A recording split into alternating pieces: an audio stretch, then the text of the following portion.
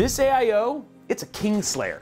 For way too long, the Arctic Liquid Freezer 3 has been the value leader for budget builders, but its reign is over thanks to this right here, the Phanteks Glacier 1 M25 Gen 2 AIO. And we're gonna talk about it right here and how it deposed the Liquid Freezer's dynasty right here, right now on Robeytech. I'm just gonna say this up front. With how cemented the Arctic Liquid Freezer 3 has been in the budget build community, this review may cause some weeping and gnashing of teeth. Phanteks just sent an update to their venerable Glacier 1 AIO, so we're gonna give it the Robeytech AIO review treatment. And when we say update, we don't just mean that Phanteks slapped a different set of fans on the same AIO, we mean that it's been completely redesigned soup to nuts. New fans, new pump design, a new price, and even a new feature that wasn't present on the previous Glacier 1. Now, before we get too far in, let's get to know the new Glacier 1. At launch, the Glacier 1 is only available in a 360 millimeter version in either black or white. As for the pricing, this AIO has a launch price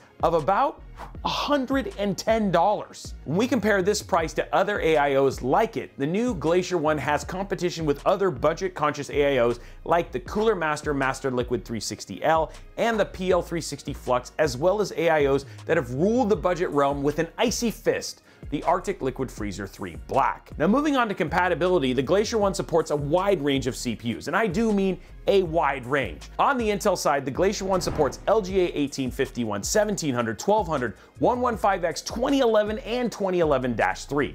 That is a ridiculous number of CPUs that this thing can support, by the way. As for AMD, the Glacier One supports CPUs on both AM4 and AM5 sockets, as well as SP3, STRX4, TR4, and SWRX8 sockets. For all you Threadripper fans out there, there you go. So with all of that support, we have no reservation saying that if you have a modern CPU, heck, even some aging CPUs, this new Glacier One will absolutely work for you. Now, since we're in the neighborhood, let's talk about the pump.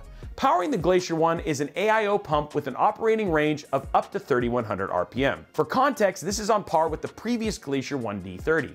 But in case you saw that pump head and thought, Roby that doesn't look anything like the Glacier one I know. I would say you're right. It actually adds some cooling that impacts more than just the CPU. On the pump head, Phanteks includes a tiny fan as well as a mesh grate to help cool the VRMs and M.2 slots that are around the pump itself. Now, according to Phanteks, they've seen that like up to like an 11 degree difference on VRM temps and around an 8 degree difference on M.2 SSDs. Granted, this was in an open test bench and may not be the case in every PC case, but it's still nice to see some extra cooling in the general area. Now, as for the radiator, it has a standard thickness of 27 millimeters. As for fans, this is where the M25 in the Glacier One name comes from because it has three of Phanteks's 120 millimeter M25 fans. The M25s have some pretty decent specs on them, like a max airflow of 84 CFM and a max air pressure of just under 2.7 millimeter H2O. These fans also feature Phanteks's Link 6 daisy chaining system. Link 6 cables carry both DRGB and fan controls over a single flat ribbon cable,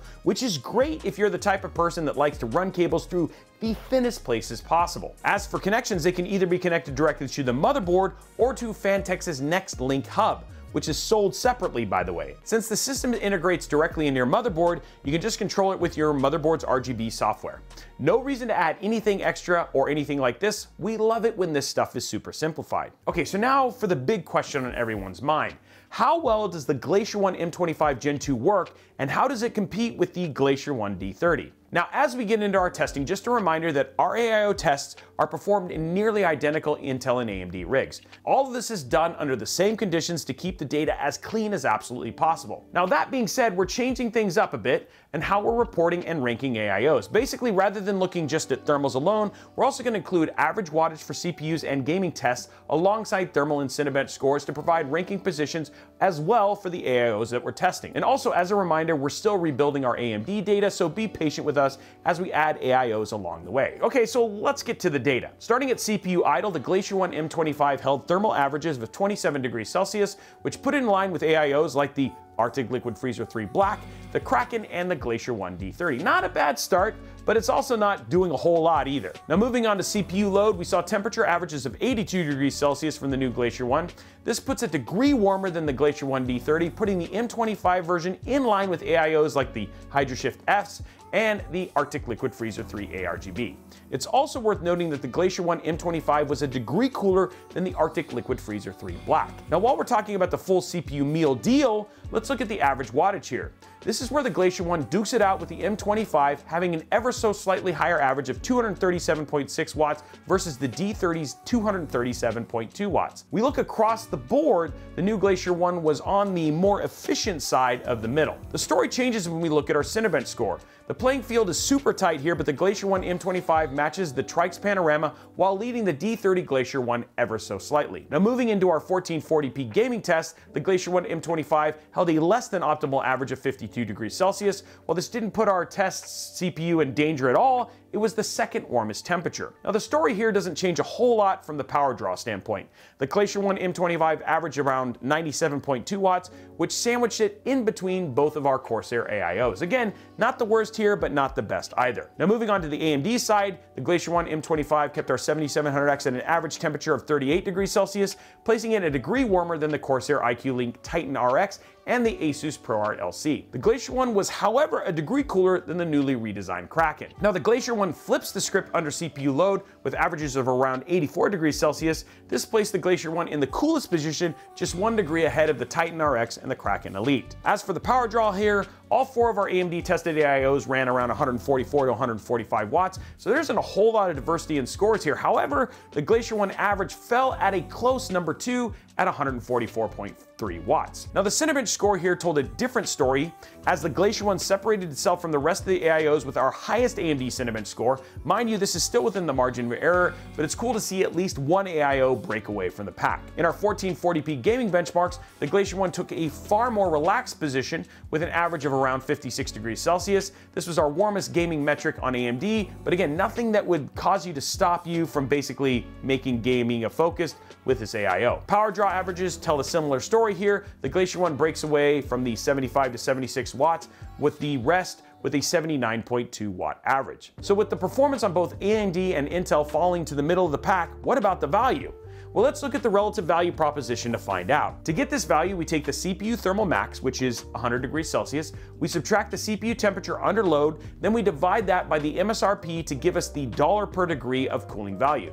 We can then score and compare these numbers with lower numbers, of course, being better. With a relative value score of 6.1, the Phanteks Glacier 1 M25 Gen 2 sets the record for the lowest value proposition we've seen here at Robeytech, stealing the crown for the king of budget AIOs from the Arctic Liquid Freezer 3. So with all that in mind, would we recommend the new Phanteks Glacier 1 M25 Gen 2 as your next AIO? It's performant, it's inexpensive, it looks good, and it supports a ton of different CPUs. So whether you're building a budget-conscious PC or you're replacing an AIO on an older system, there is absolutely no reason not to go for the Glacier 1 M25 Gen 2. Now that being said, there are some things you should know if you're considering this new Glacier One. The first thing is, is that if you're looking at this on an AMD platform, you're limited on the directions your hoses can go on the pump. The bracket only allows the hoses to come off the sides of the pump. this isn't a huge deal as far as performance go, but if you're looking at using this in an MATX or an ITX build that fits in 360 millimeter AIO, I mean, not that there's a lot of those, or you have a chunky VRM, you, this could potentially prevent you from installing it outright. Now this probably only impacts a very small set of potential builders, so this may not be an issue for you, but we felt like it's worth mentioning. Now, it's also worth noting that the Phanteks branding also coincides with the specific hose orientation too. So if you do want your hoses at the bottom or if you're a madman that wants them at the top, you're gonna be reading Phanteks name vertically. Now, since we're being picky, let's talk about the fan screw covers for a minute. These little pieces of plastic pop into the screw head and their only job is to make things look pretty, but they don't always stay in place. We also found that there's also, they're actually pretty easy to break the tabs off of. Again, it's a small and picky thing, but it's worth calling out because honestly, there isn't a lot to pick on here. The Glacier One M25 Gen 2 is really good at what it does. It's well built from what we can tell, and it's $110, so it's really hard to beat. Now, you might be thinking, Roby, can you even declare the Glacier One the new king of budget AIOs? I mean, is it still better at other things than price and performance? I mean, is there anything else? Well, here's the deal. Not only do we see the Glacier One basically going toe to toe in both price and performance, but when we look at different things and like things like ease of installation, the Glacier One is worlds apart from the Liquid Freezer 3. Installing the Arctic Liquid Freezer 3 is not user friendly at all. Not only that,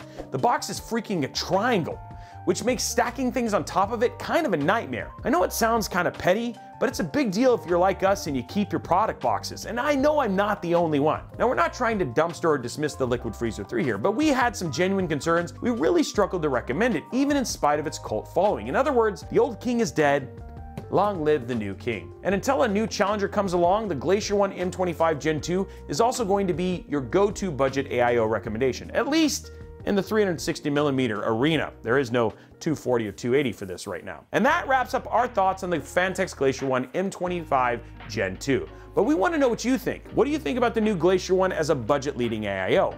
Also, what do you think about having a fan built into the pump head? Let us know down in the comments below. Now, while you're down there, make sure you slap that subscribe button, whip that like button, and ring that notification bell so you get a notification each and every time we post a video like this right here at Robeytech. you want to continue the conversation? Maybe this isn't the right one for you. Remember, it is not a one size fits all for every PC builder, and you want to just have a conversation about what parts may be best for you, head over to our Discord server, discord.gg slash Robeytech. Amazing place to talk to other tech and PC enthusiasts who love to have these conversations. You know what? You might just make a friend.